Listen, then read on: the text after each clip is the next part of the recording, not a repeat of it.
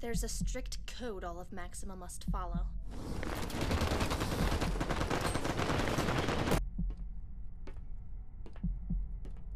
This code keeps our bodies and minds in check.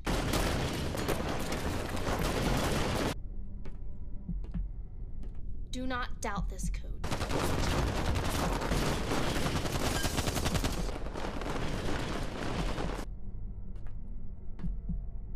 We carry the orders, or die doing so.